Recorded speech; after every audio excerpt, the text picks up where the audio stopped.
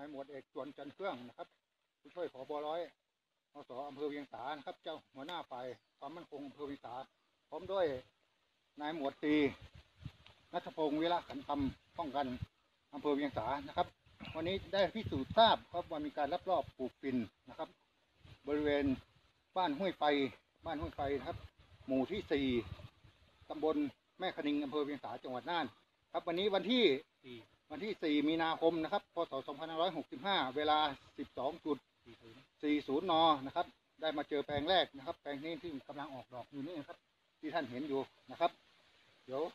เราจะได้จัดทำลายต่อไปนะครับ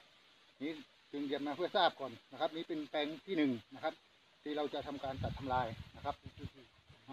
พื้นที่ประมาณหนึ่งงานนะครับ ที่ท่านเห็นนะครับเพิ่งตัดเสร็จทำลายเรียบร้อยแล้วนะครับ นี่แปลงที่หนึ่งครับเนื้อที่ประมาณหนึ่งงานนะครับ อนนี้ชุดของของร้อยอำเภอเวียงสานะครับ ครับ วันที่ 4 มีนาคม พศ 2565 ครับ เวลา 14.40 น ครับ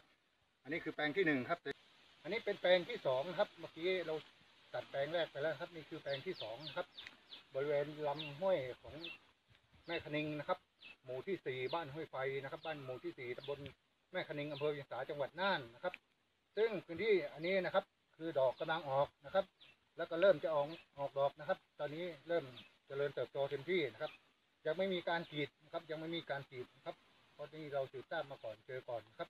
จึงขอตัดทำลายนะครับ ซึ่งการทำลายเราจะถอนออกทั้งหมดนะครับ หากไม่ถอนเราฟันทิ้งไว้แบบนี้นะครับ เดี๋ยวจะเกิดการเกิดขึ้นมาใหม่อีกนะครับ มีการโผล่ขึ้นมาใหม่อีกเหมือนกับปีก่อนๆที่ทำการตัดทำลายนะครับ ปรากฏว่าถ้าเราใช้ไม้ฟาดไม้ฟันไปเนี่ย เราไม่ถอนออก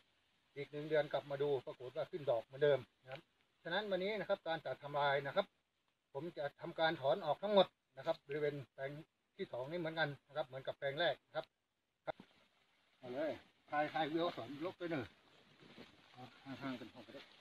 กล้องกล้องอยู่ไกลๆนะกล้อง